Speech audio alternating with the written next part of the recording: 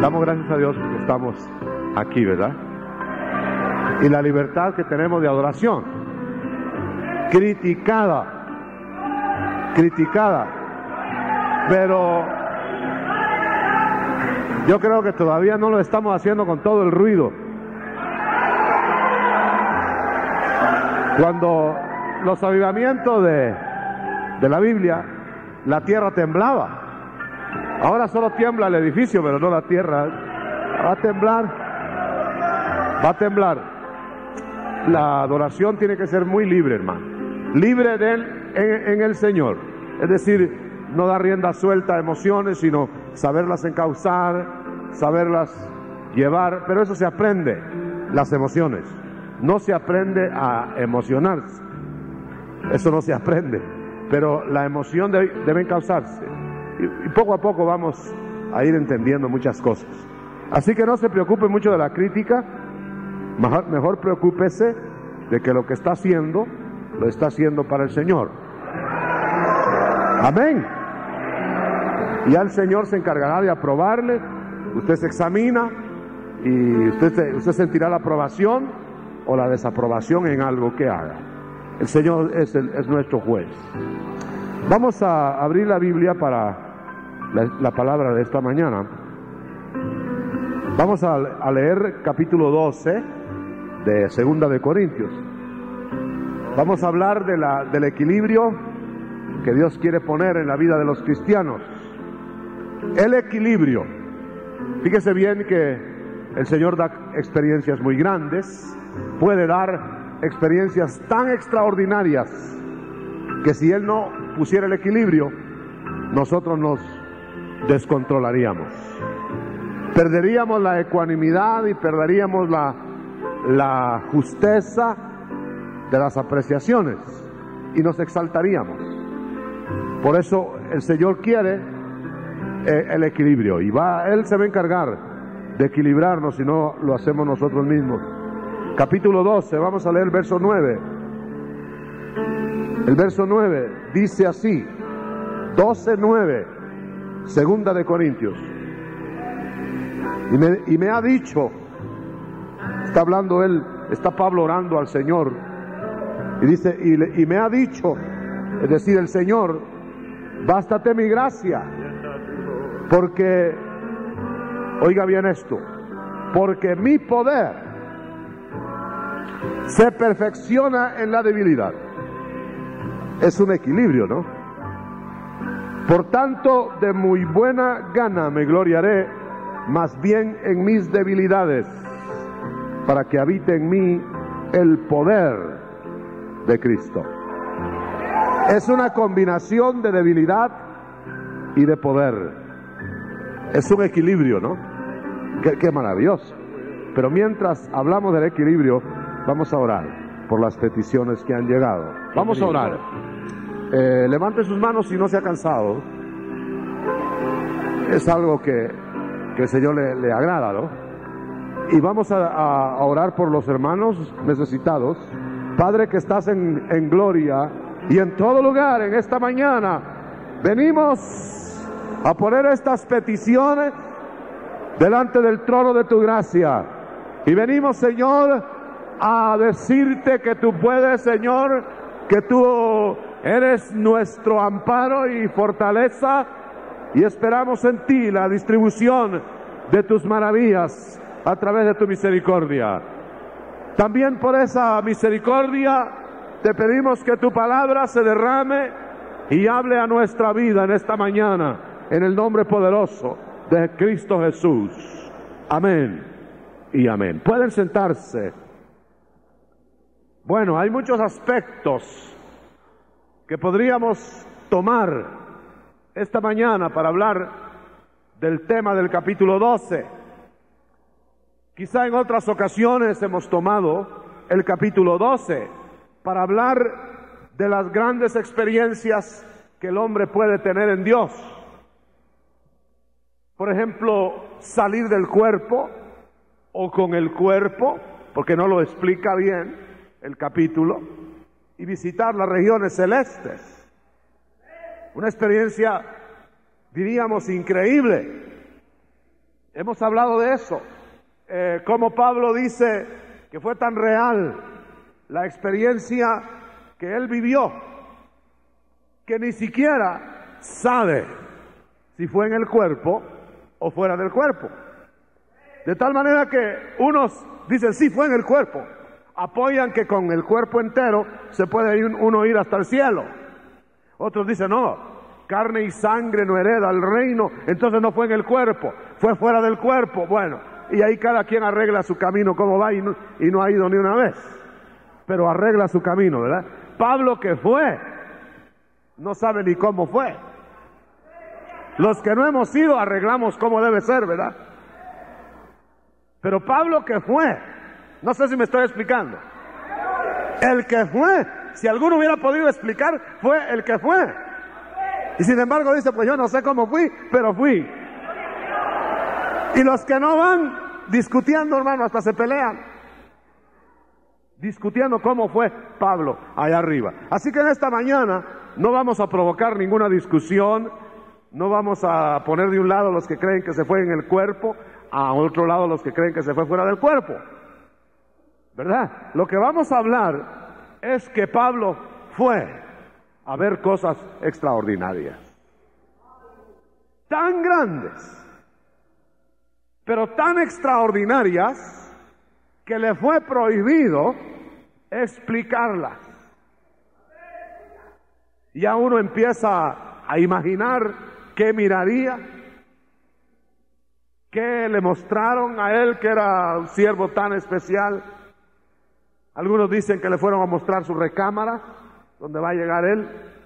Otros dicen que le fueron a mostrar eh, sus galardones. Otros no sé qué, tampoco saben qué vio porque no dijo Pablo. Pablo dice, se, fueron cosas que yo oí tan inefable, tan extraordinaria, pero tan tremendamente más allá de la mente natural, que no le es dable al hombre, permitido, verso 4, expresar algunos dicen que, que es posible que no se puedan expresar porque no hay palabras. Ahí empieza otra discusión. Y otros dicen, no, no, no, es que se lo prohibieron. Tampoco vamos a discutir eso, hermano. Ahí quédese usted con la opinión que le guste, si fue porque se lo prohibieron, si fue porque no hay palabras, pero el caso es que no se supo de tal grandeza porque de alguna manera fue impedido que eso se comunicara. Pablo pudo haber descrito, me llevaron a tal parte, oí que me dijeron esto y el otro, platicaron conmigo del futuro, platicaron de la segunda venida de Cristo, de lo demás, pero no dijo nada. Al contrario, dijo, no me hablen, no, no me hablen de eso. No, no, no, yo no lo puedo explicar. Mejor déjenme con mi experiencia. Esa fue una experiencia muy personal y por supuesto fue muy personal porque si no le hubieran dicho que trajeran un mensaje. Es, es lógico. Por ejemplo, a Juan lo llevaron al cielo y esa no fue una visitación personal porque le dieron mensaje para nosotros. Y trajo todo el apocalipsis para nosotros. Pero a Pablo no le dieron mensaje. Entonces era una experiencia para su consumo. Hay experiencias para consumo de los, de los cristianos, no para andarlas contando. En primer lugar, nadie se las va a creer. En segundo lugar, no traen ningún mensaje para otro. Son experiencias privadas, diríamos, privadas. Pablo estaba tan martirizado y tan emproblemado, tan, eh, había tal oposición contra el Evangelio de Pablo, que era el mismo del Señor, que el Señor tenía que darle esas remozaciones, esas visitaciones, y, eran para Él. Y se las eh, aprovechó totalmente. Bueno, ahora Pablo entonces vio algo que lo puso en un plano, y es, escúcheme bien, en un plano humanamente superior a los demás.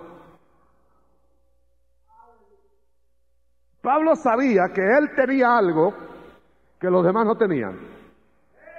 Yo creo que yo recuerde en toda la historia del, del Nuevo Testamento y aún del Antiguo, ¿no? Nadie fue al cielo y regresó así como Pablo.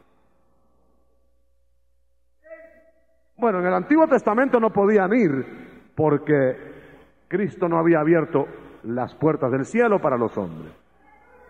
Ya en el Nuevo Testamento podrían haber ido otros, pero solo a Pablo llevaron. Fue y regresó. Porque no es la misma experiencia de Juan. Juan fue visitado en Patmos y en el espíritu vio aquellas cosas. Pero Pablo tuvo la, la clara sensación de haber sido llevado al paraíso. Lo que él no sabe es si se llevó el cuerpo o no, pero él salió de la tierra. ¿Me explico, hermano? Entonces tenía un plano, un plano de visual superior a cualquier otro mortal. Inclusive cuando le preguntaban, ¿y cómo, cómo sentiste Pablo? ¿Te fuiste del cuerpo? ¿Te ¿Se salió tu alma? ¿Cómo, ¿Cómo sentiste? Mire, mire, lo único que les puedo decir es que yo salí y, y estaba tan, tan embebido en todo que ya no me preocupé si iba con cuerpo o sin cuerpo. No me acordé de palparme para ver si iba con cuerpo o sin cuerpo. El caso es que yo andaba allá. Ahora que me acuerdo debía haberme palpado, pero no me palpé. Pero fue una visitación real. Ahora el problema entonces, como era una cosa para Pablo, fíjese bien, entonces el problema que Dios tenía que arreglar, si es que iba a haber problema, iba a ver qué problema era, lo tenía que arreglar con Pablo, personalmente. Entonces quiere decir que cuando cualquier mortal, y Pablo lo era, llega a experiencias de esa dimensión,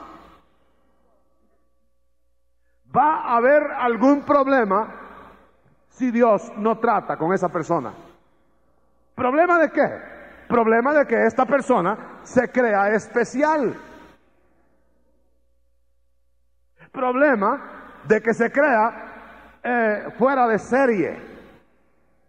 Hijo, hijo, diríamos, mimado, predilecto. ¿Me entiende, hermano? Si nos sentimos a veces predilectos con una miradita que nos dé Dios, ah, ya no cabemos en ninguna parte. Ya andamos por la calle, yo siento a Dios y usted le decimos al otro, para que el otro diga que no, ¿verdad? Ya andamos pavoneándonos con un rótulo aquí, hermano. Yo tengo la plenitud del Espíritu Santo. Un rótulo. Pero no se le ve por ninguna parte.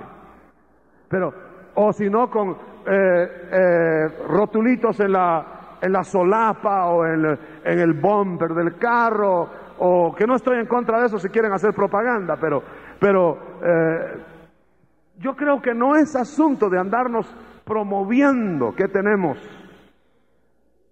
es diferente. Yo le, le, noto a eso un poquito de deseo de exaltación. No vaya, ojalá no vaya a quitarle todos los textos a la casa o al carro, pero si lo hace no sería malo, ni sería bueno. Depende qué le diga el Espíritu Santo. Porque podría ser que el Espíritu le esté diciendo que, que anuncie a Cristo en su carro, hágalo, hermano. Si eso lo hace feliz, hágalo. Pero yo lo que estoy diciendo es que hay algo mejor que anunciarse con rótulo. A veces es contraproducente anunciarnos así. Porque el otro día yo vi no algo muy agradable de una gente que estaba reunida y el carro lo tenía rotulado que eran cristianos y lo que yo estaba viendo no era de cristianos, entonces era peor. Porque la gente que iba detrás en el otro carro había dicho, ah, y esos son los de ese carro. Uh, así deben ser los cristianos. Así mejor no le hagan propaganda a Dios. El asunto es, hermano, que si hay una experiencia interior, como, como en el caso de Pablo, analicémoslo y apliquémoslo a la experiencia posible nuestra hoy. Nosotros somos materia inflamable, gasolina, de la que hay escasa ahora, gasolina. Hermano, luego nos inflamamos. Lo primero que se le ocurre al hombre es inflamarse, hincharse. Le tiene una, un privilegio de Dios ya no cabe. Tiene algo que Dios le da, es lo único que le ha dado en toda la tierra a cualquier mortal, solo a él. Es peligroso. El hombre es peligroso desde que lo pusieron en el huerto. Y lo probó el hombre, ¿verdad? Que es peligroso. Material peligroso. Debiéramos de llevar, ese, ese rótulo sí lo debiéramos de llevar. Materia inflamable. Aquí atrás. Yo soy materia inflamable, no me adule. Por ejemplo, ¿cuántos dan gloria a Dios? ¿Cuántos dan gloria a Dios? Ahora, yo quisiera, hermano, que nosotros viéramos esta mañana qué es lo que Dios va a hacer para estos problemas. ¿Qué es lo que Dios quiere hacer cuando hay semejantes problemas? ¿Qué hizo con Pablo? Lo vio y fíjese que no fue ningún hombre, porque ningún hombre iba a tratar ese asunto con Pablo, sino que Pablo bajó del cielo, del tercer cielo, más allá de las estrellas, más allá de la atmósfera, más allá de todo eso. Bajó y Dios lo vio bajar. Y dice, ah, Pablito, está en un problema porque se va a sentir muy, muy especial. Y inmediatamente preparó el Señor una de esas sus válvulas que tiene allá en el cielo, ¿verdad? Con puntiagudas que se llaman espinas. O vamos a ponerle aguijones. Más aguijones dice la versión antigua, ¿verdad? Aquí dice espina. ¿eh? Entonces, una espina, una, una, una molestia, una o algo, algo desagradable, ¿eh? Eh, y dijo, bueno, vamos a ponerle esa válvula a Pablo, porque si no la ponemos, esa, esa espina va a inflamar, inflamarse, va, a hincharse. Entonces ya puso Dios el equilibrio, un equilibrio perfecto. Y, ya llegó Pablo a la tierra y entonces ya empezaba él a quererse, a querer, a querer coger vuelo, a empezar a, proclamar lo que había, le había sucedido cuando el primer pinchazo. Yo quiero que me acompañe eso. Aquí viene otro problema. Cuando, cuando yo estaba enseñando en, alguna, en algún seminario este asunto del aguijón, y que unos preguntaban, ¿y qué era el aguijón? Y que unos decían que era su suegra, porque ya no tenía esposa, ya no tenía esposa, si no hubieran dicho que era la esposa. Pero otros decían que era una enfermedad, otros decían que era, que era algún disidente ahí de su iglesia, otros decían que era que padecía de los ojos. Miren, todas las plagas le han echado a Pablo por ahí. Otros decían que era su carácter, otros decían que era un demonio, otros decían de todo, de todo. Pero realmente no interesa en sí que haya sido la espina. El caso es que cuando Pablo regresó con ese bagaje, con esa nueva experiencia. Avanzó tanto que sintió la molestia más grande que había sentido y que antes no la había sentido. Qué interesante. Quiere decir que cuando Dios te va a dar algo grande, prepárate que te va a poner el equilibrio, te va a poner tu pinchazo también. De una vez te dice, ¿quieres una experiencia grande, hijo? Ah, ¿cómo no, Señor? Yo quiero ir hasta el cuarto cielo si hay quiere ganarle a Pablo porque parece a veces concurso, ¿verdad? Y entonces, muy bien, muy bien, te voy a, dar una experiencia grande, pero de una vez toma tu aguijón. Aguijón, Señor, si yo te estoy pidiendo una experiencia grande. Sí, pero es que sin aguijón no te va a servir. Y hay mucho cristiano que vive con aguijones, pero sin experiencias grandes.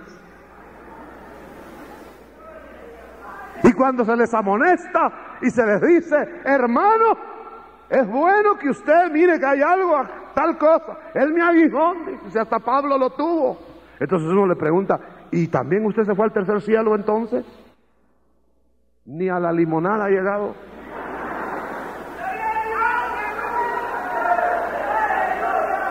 O sea que no confundamos los aguijones con juicios, con errores, con consecuencias de nuestros pecados o pruebas, etcétera.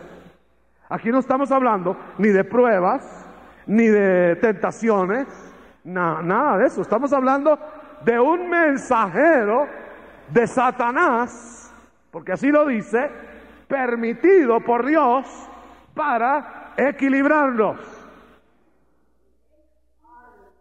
¿Usted había pensado en eso, hermano? Que de repente el Señor va a tener que permitir que un mensajero de Satanás lo abofetee para humillarlo un poquito porque ya está exaltado. Ahora, eh, muchos dicen, ¿cómo así? pero si es mensajero de Satanás, ¿cómo es que Dios va a permitir que Satanás nos esté fastidiando y molestando? Bueno, yo leo acá, hermano, yo no estoy inventando nada. Yo, en primer lugar, yo no escribí esto. Aquí dice, eh, me fue dado. Vamos a ver dónde, dónde ni lo hay o dónde está. En el 7 dice, me, eh, me fue dada una espina. Y luego dice, en mi carne, probablemente en su cuerpo, probablemente algo que tenía que ver con el cuerpo o con las necesidades del cuerpo. ¿Me entiende? Ya no podemos calificarlo, yo no sé de qué lo calificaría usted en este momento. ¿Qué sería eso? Yo no sé. No me pregunte, hermano, porque yo no, a mí no me han dicho más nada de eso. Yo lo único que si usted me pregunta, ¿y qué era el mensajero, qué era ese, esa espina y ese mensajero de Satanás? Yo lo único que le contestaría, pues dice que era una espina, que, y que también dice que era mensajero de Satanás y que quedamos igual. El caso era que venía y cuando Pablo quería coger vuelo, Pablo, como un globo, hermano. Haga el caso, que era un globo con una válvula. Y entonces ya Pablo empezaba a coger vuelo porque era humano, era humano, y empezaba a sentirse grande. Entonces el Señor nada más permitía que ese mensajero de, Satanás,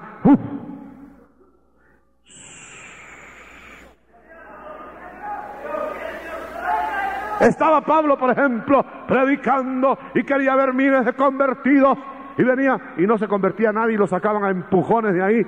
Y, aquel entusiasmo tremendo y aquel impacto de Pablo lo hacía llegar al hotel o a la, o a la posada donde estaba derrumbado.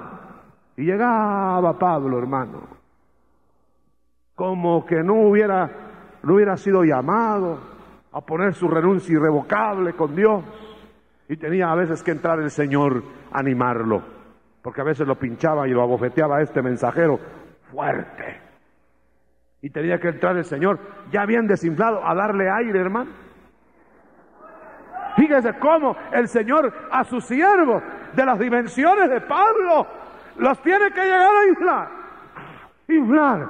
Ah, que cobran ánimo. Y ya cuando tienen ánimo, agarran demasiado vuelo. Entonces Satanás, ¡paf! los desinfla. Otra vez a inflarlo a inflarlo. Así entre, entre inflada y desinflada vamos volando. A veces me pongo yo a pensar que Satanás es un pobre diablo, hermano. Fíjese que a mí me da lástima a veces. Nunca he rogado que Dios lo salve, porque la Biblia dice que no se va a salvar. Y no voy a perder tiempo. Pero a veces me da lástima porque fíjese que él cree que está destruyendo la obra de Dios y es un pobre siervo sin sueldo. Ahí le está desinflando, desinflando gente a, Dios que Dios quiere desinflar. ¿Cuántos están de acuerdo conmigo? Me fue puesto, me fue puesto en mi cuerpo para que la grandeza de las revelaciones no me exalte desmedidamente.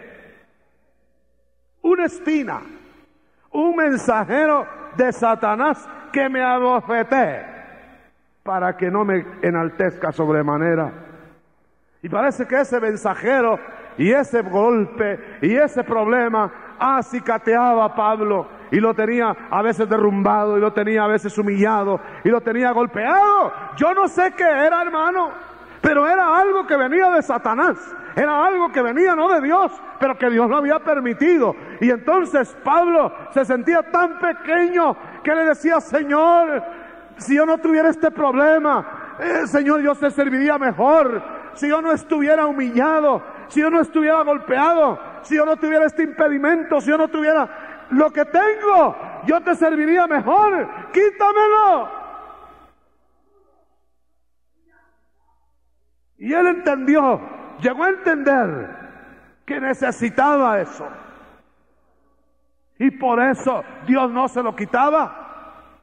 Hermano, si para Dios es fácil quitar tu problema, si para el Señor es bien sencillo, cualquier cosa es fácil, ¿qué cosa es imposible para Dios? Aleluya. Pero ¿por qué no lo hace? ¿Por qué no lo hace? ¿Por qué le has rogado mil veces que haga esto, que haga lo otro, que te estorba, que no te deja ir a la vida abundante de Él, que no te deja estar más cerca, que tú crees que eso es lo que te impide? ¿Y por qué no te lo quita? Sería muy bueno que nosotros averiguáramos si no será eso que tú le estás pidiendo a Dios que te quite, no será un aguijón. ¿No será una espina que Dios está permitiendo? ¿No será que eso es lo que te tiene todavía en, adorando y alabando y en la iglesia? Y que si se te quitara eso, volarías a saber a dónde. Yo recuerdo, hermano, de una hermana de la iglesia hace años. Y esa hermana le pedía a Dios, pero le pedía insistentemente Señor, y si la hermana está aquí va a saber que voy a repetir sus palabras que ella me contaba. Señor, yo ya no aguanto a este hombre, era su marido, inconverso, una mujer sierva de Dios, y el marido borracho, y el marido le pegaba, y el marido, bueno, y ya no lo aguantaba, y le decía, Señor, yo ya no lo aguanto, Señor, ya no lo aguanto, ya no puedo más, y lloraba delante del Señor. Y entonces eh, el Señor le hablaba hasta audiblemente, hermano. Le contestaba. Y recuerdo que ella me, me, decía que una de estas veces le dijo, le dijo al Señor, Señor, mejor llévatelo. Llévatelo, Señor. Yo te lo doy. Mire, sin permiso de él, ¿verdad? Y entonces no habían pasado ni cinco minutos de estar orando cuando le tocaron la puerta. Hermano, señora, su marido acaba de caer muerto ahí en el, en el, en el trabajo. Vaya corriendo. Miren, antes de salir corriendo le dijo, Señor, devuélvemelo. Y salió corriendo. Bueno, ¿en qué quedamos? ¿Se lo da o lo recoge? Pero el caso, a lo que quiero llegar, es que esta hermana, Dios le dijo que este varón lo tenía que soportar, porque por eso ella se acercaba tanto a Dios, que por eso ella estaba más cerca de Dios. Y esta hermana tuvo la experiencia que pasaron muchísimos años de, aguantar y, dice que cuando más oraba ella, peor se ponía el hombre borracho, peor. Dice que decía, Señor, si yo te pedí que me lo arreglaras, no que me lo descompusieras. Pero tuvo la experiencia de que el Señor le dijo que lo aguantara y que iba a ser salvo. Y hermano, y fue salvo ya al borde de la muerte. ¿Qué queremos establecer esta mañana en medio de nosotros? Que los más grandes siervos de Dios están expuestos al desequilibrio. Todos humanos, usted, usted que viene a oírla a la iglesia, yo que vengo a predicar y que cada uno en su lugar está expuesto en la medida de sus, de sus condiciones del medio ambiente a desequilibrarse en el Señor. No somos nosotros dechados de equilibrio, hermano. Siempre somos tendientes a irnos por un solo callejón, A veces nos agarran ciertas necedades. A veces pensamos que la gracia y la gracia y podemos pecar y pecar y pecar y no hay problema. Muchos cayeron en eso. O si no, otros que el, Evangelio es un, un calabozo, una institución en donde arreglan a los borrachos y a los que no se pueden componer de otra manera. Tampoco eso es. Y por eso dicen algunos, yo, yo, mi hijo, yo te voy a meter en el Evangelio, como que lo van a meter al cuartel. un detente, una exhortación, siempre va a ser algo que regula fuertemente. Es como que lo van a meter a usted en un molde y lo meten y no cabe y lo empujan. Le duele. No va a ser muy agradable para la carne. Porque la carne está acostumbrada a hacer lo que le da la gana y nunca se puede someter a la voluntad de Dios. Siempre está en enemistad con Dios.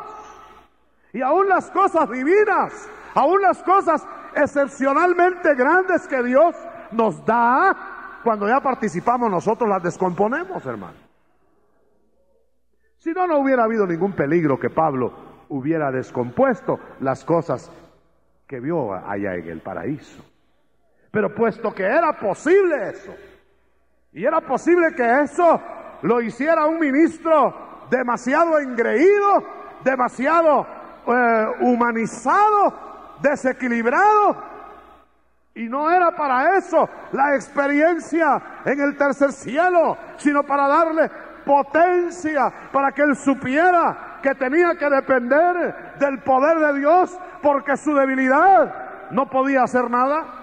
Para eso era, no hubiera podido tener un final tan maravilloso en un hombre como Pablo, si no hubiera habido un equilibrador, un plan divino para que Pablo, en el momento que se creyera más allá de los límites justos del poder de Dios para engreírse, viniera este mensajero a bofetearlo y a ponerlo en su lugar, a ubicarlo. Por eso es bueno que el creyente se une en una iglesia para oír palabra ungida, porque la palabra ungida le va a dar experiencias, le va a llevar a sitios grandes. Porque la palabra ungida, los remas de Dios, son espíritu y son vida. No son historietas muertas, no son historias referidas, no son maquinaciones de hombres. Pero cuando el hombre, el cristiano, se encierra en los dogmas humanos y se encierra en la palabra humana, no avanza en experiencias, no tiene los remas de Dios y se enaniza espiritualmente. Pero el peligro es o que nos hagamos enanos por miedo y temor de las grandes revelaciones divinas o que nos hagamos gigantes tan altos y tan grandes que vamos a caer por la misma falta de fortaleza en lo grande del cuerpo. El Señor quiere poner en nuestra debilidad que sepamos que cuando confiamos en nosotros mismos somos débiles. Y cuando confiamos en Él somos poderosos. Pero que cuando seamos poderosos en Él, miremos nuestras debilidades. Y cuando veamos nuestras debilidades, recurramos al poder de Él. Equilibrio. Por eso, hermano, no es posible llegar a un mortual, por ejemplo, y hablar de muerte hable de resurrección, hable de vida para equilibrar aquello. Como también a un lugar alegre, hable de la responsabilidad futura para equilibrar. Pero a veces nosotros creemos que ya lo tenemos todo cuando estamos con las manos levantadas y sintiendo la presencia de Dios. Y al rato creemos que ya no tenemos nada, que hasta Dios se fue, porque no sentimos ninguna cosquillita en la espalda o en la cabeza. Tenemos que equilibrarnos, ser maduros. Necesitamos aguijones. Si yo pudiera esta mañana allá en la puerta poner a los diáconos repartiendo aguijones, yo repartiría. Ya les, di a los, ahí tienen los aguijones, están listos para repartirlos al, al terminar. A ver quiénes quieren aguijones. Pero esa es una utopía, no se puede. No se puede. Porque repartiríamos matanza. Pero Dios sabe a quién va a pinchar. Y uno tiene que examinarse por dónde va, a qué altura va, si va a altura de pinchazo. Gloria a Dios. El Señor oyó la oración de Pablo. Oír no quiere decir decir sí, pero oyó la oración de Pablo tres veces. Menos mal que Pablo no era, no era testarudo como algunos de nosotros. Algunos de nosotros estamos ahí necios, ¿verdad? Pablo solo tres veces insistió. La primera vez dijo, tal vez, tal vez no me oyó el Señor. Tal vez yo no estaba muy bien. La segunda vez dijo, me ha de haber oído y por qué no me contestará. Tal vez otra llamadita. La tercera vez le contestaron, hermano, que por poco se cae Pablo. Bástate, Pablo, ¿qué estás tocando aquí? ¿De qué? ¿Qué quieres? Ya te oí. Ay, Señor, perdona, pero yo no he, recibido el telegrama todavía. Entonces, como que le dijeron de ahí arriba, no como que le dijeron, oiga lo que le dijeron, entiende Pablo. Bástate mi gracia. Interpretémoslo. Deja de estar pidiendo gustos. Con que vas a ser salvo ya estás seguro que te baste, Pablo. Vas a llegar al final de la jornada. Aguanta ese aguijón. No es para matarte, porque ya viste que está asegurada tu meta. Ay, el Señor, y entonces, pero es que me estorba mucho. Siempre ya cuando estoy llegando al triunfo aquí en la tierra, me desinfla todo. Oiga, y entonces le dice, oye Pablo, mi gracia suficiente, porque yo estoy dándote poder, pero mi poder necesita que tú te vacíes de tu yo. Mi poder necesita que haya menos Pablo y más Cristo. Por eso el aguijón te está sacando Pablo, a Pablo. El aguijón te está tratando a tu Pablito de adentro. No sé cómo se llama usted, hermano. ¿Diógenes? Muy bien, Diógenes. Tu Diógenes te está sacando. Tu Carlos. Telésforo. Tu telésforo. Por decir nombres que, que no, no tengo a la vista. Su nombre, hermano, el suyo. Que yo no me atrevería a mencionar. Pero el suyo, su nombre. Quiere el Señor a base de aguijón a base de trato, a base de visitaciones extrañas, desagradables a tu carne. Quiere acabar con tu apellido. Quiere que haya menos de ti. Y cuando haya menos de ti y de mí, vaciará su poder pero entonces al no haber yo, se ve la debilidad humana. Se reconoce la debilidad humana. Y entonces se hace homenaje al poder de Dios. Se necesita, hermano, que nosotros entendamos que la vida cristiana, la vida en el Espíritu, es la única vida aprobada por Dios. ¿Cuántos saben eso? El andar en el Espíritu. Oiga bien, no ser cristiano nada más. Porque está hablando a cristianos.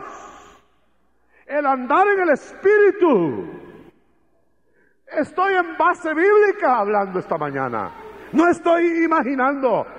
Romanos 8.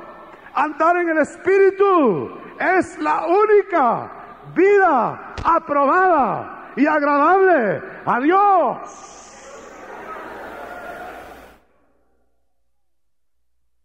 ¿No dice la escritura que los que andan en la carne no pueden agradar a Dios? ¿Y quiénes son los que andan en la carne? Pues los que no andan en el espíritu. Ahora, ¿qué les va a pasar a los que no andan en el espíritu? Pues que al andar en la carne van a desagradar a Dios y Dios tiene otros tratos.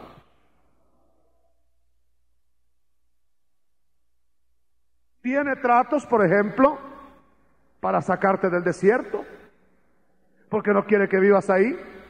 Tiene tratos para sacarte del pecado, porque no quiere que vivas en la posilga.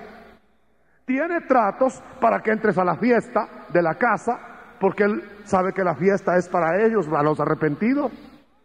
Tiene trato. Pero el trato para Pablo no era trato con el pecado, no era trato con otra cosa, no era sino misericordia y gracia. O sea que cuando hay incomodidad en una vida de un cristiano, lo que tiene que hacer es averiguar qué trato tiene Dios. Si es aguijón, si es juicio, si es castigo, si es corrección, ¿qué es? Porque hay tormentas que Dios manda y hay tormentas que manda el diablo. ¿Y cómo va a ser usted en medio de la tormenta para luchar en la tormenta? Si es de Dios, la tormenta, como en el caso de Jonás, se sujetó a Dios en la tormenta. ¿Verdad que sí? Y fue restaurado y fue rehabilitado pero si la tormenta es del diablo, usted tiene que, no tiene que aceptar eso, tiene que plantarse a pelear. La tormenta del mar de Galilea no la había puesto el Señor. Esa la puso Satanás. No quería que el Señor llegara a libertar endemoniados en Gadara. ¿Y qué hizo el Señor con la tormenta? Olas, aquíétense, enmudezcan. Y Satanás que estaba moviendo las olas se tuvo que ir a molestar a otra parte. Pero tenemos que saber qué tormenta es, hermano. Gloria a Dios. Gloria a Dios. Y tenemos que averiguar cuándo es una para desinflarte. Te estás creciendo mucho en ti mismo. Yo he conocido personas, hermano, que, por ejemplo, para decir un renglón de los muchos que hay, se han engrandecido materialmente y qué sencillos y qué humildes eran cuando prestaban para la camioneta. Pero qué terribles son ahora que tienen camionetas.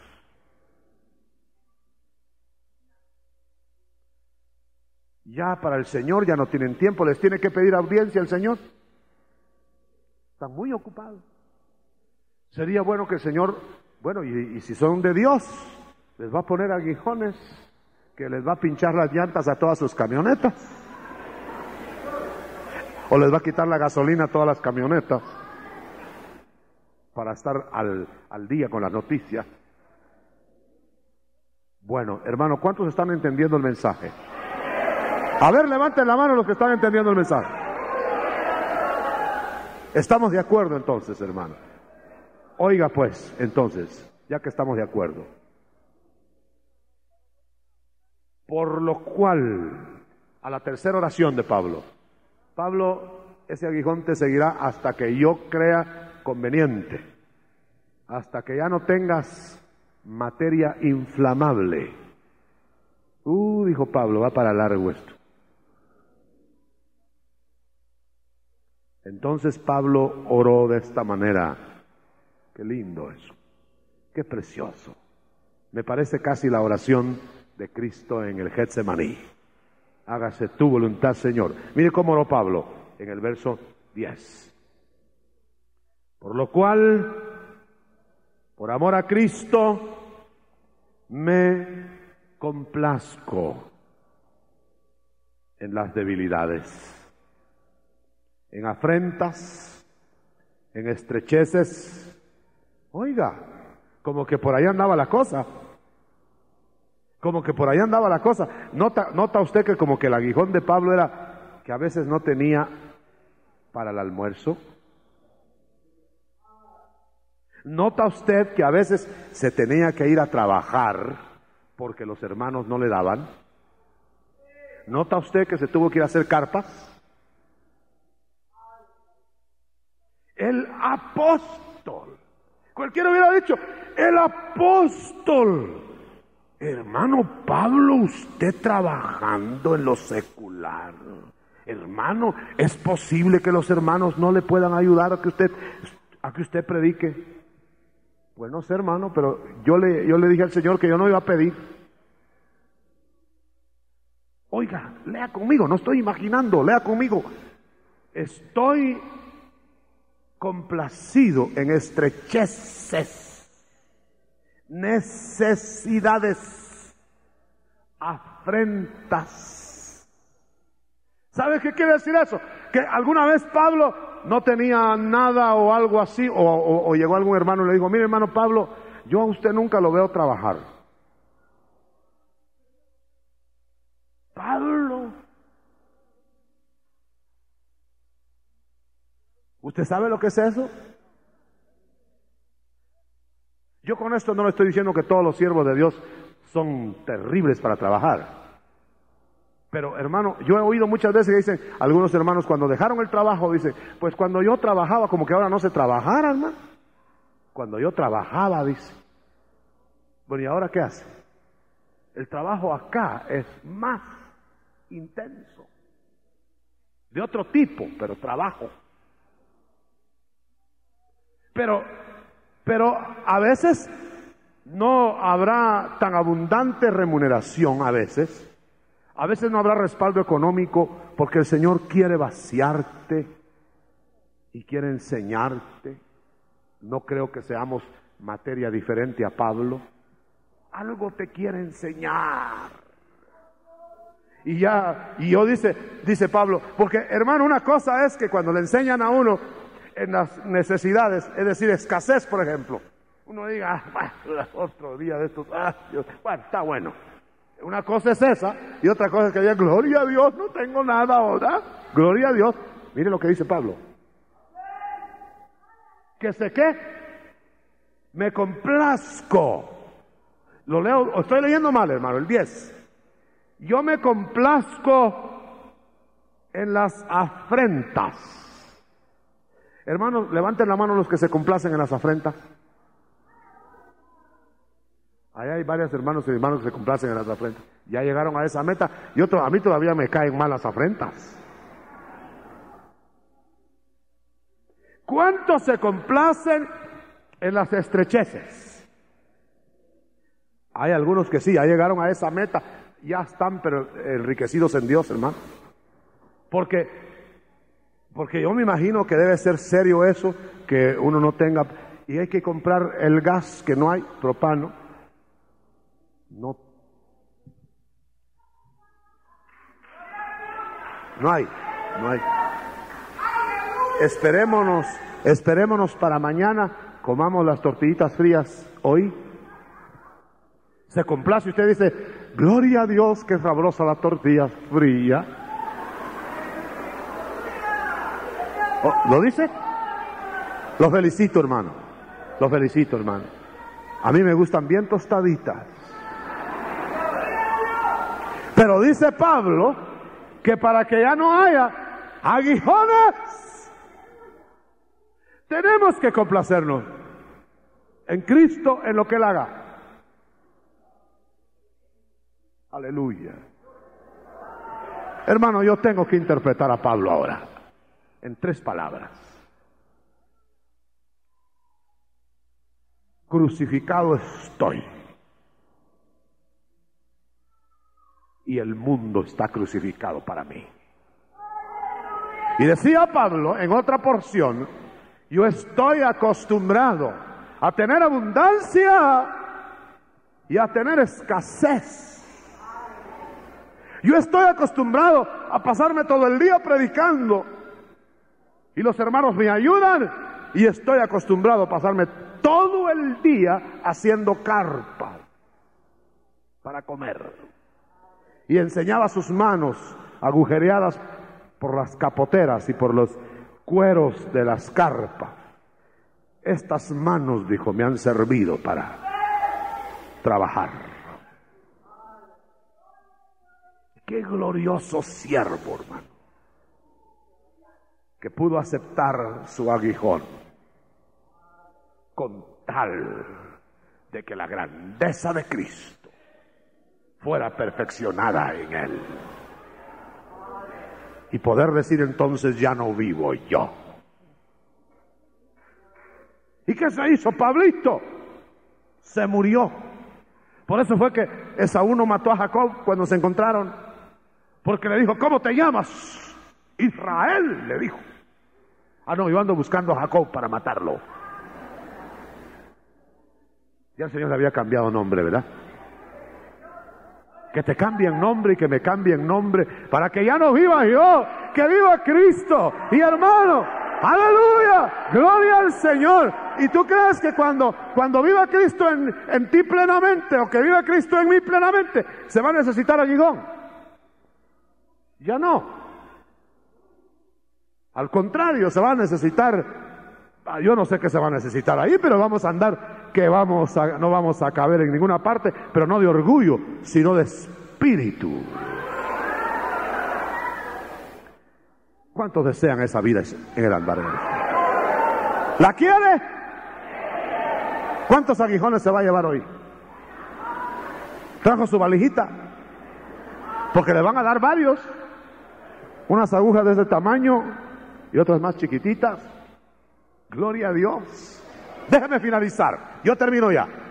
Déjeme finalizar acá porque el verdadero punto de equilibrio del Evangelio es cuando soy débil, cuando se acabó mi fuerza, cuando se acabó mi yo, cuando se acabó mi posibilidad, entonces soy fuerte. Quiere decir que los fuertes no son los que tienen la fortaleza del corcel. Los fuertes no son los inteligentes naturalmente. Los fuertes no son los sabiondos, ni los bien pagados, ni los orgullosos, ni los acomodados, sino los fuertes son los que habiendo aceptado el aguijón, se han vaciado cada día, cada noche de sí mismos. Y cuando están más pegados al Señor, le dicen, Señor, quiero más de ti, quiero más de ti. Y cuando están más pegados al Señor, se sienten más débiles en la carne y le dicen, Señor, todavía no es suficiente, dame más y dame más y dame más. Y el Señor, el que pide más, más le da. Y al que pide más, más le da. Hasta que anda y flota en el Espíritu. De tal manera que este mañana, esta mañana, el Señor quiere darte grandes experiencias espirituales. Pero antes quiere avisarte que te va a dar aguijones para que las grandes experiencias te sean provechosas, como a Pablo. Inclina tu rostro. Aleluya. Por favor, nadie se mueva más que los que tienen que moverse. Un minuto de ministración. Queremos hablar con usted. Ahí donde está hermano y hermana, consiervo